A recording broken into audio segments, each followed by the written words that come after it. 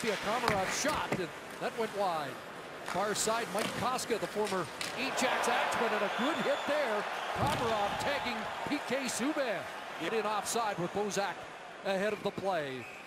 So 7.29 gone first period. We're still scoreless in Toronto.